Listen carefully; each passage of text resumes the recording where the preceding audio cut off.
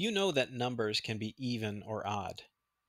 Whole functions can also be even or odd, although we mean something a little bit more complex when we call a function even or odd. So let me see if I can explain uh, what the properties of even and odd functions are.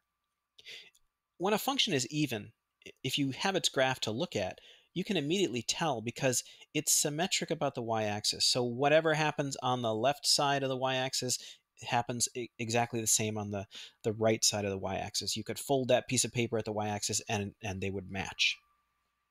This is sort of a mathematical expression of that fact.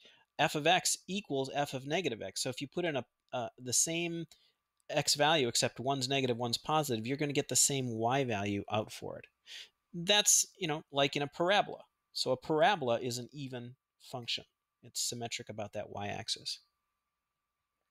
If you only have the equation to look at, if you see that all of the exponents are even, then the function is for sure even. All right, odd functions.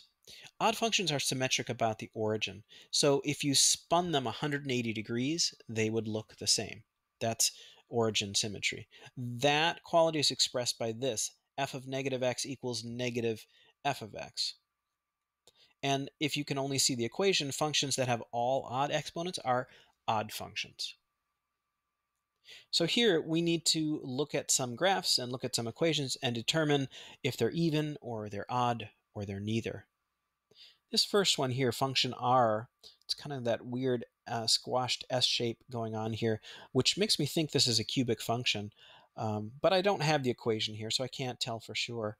However, just by looking at this, I can see that if I spun it 180 degrees, it would be the same. This arm here would end up as this arm here, and this arm here would end up as this arm here.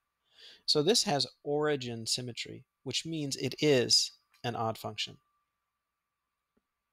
This function here, function s, I can see right away that is it is symmetric about the y-axis. I could fold this on the y-axis, and we have the same thing going on on either side. That makes it an even function.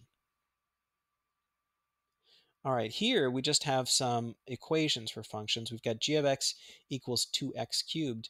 In this case, there's only one uh, exponent, and it's odd. That means all the exponents are odd, so this is an odd function.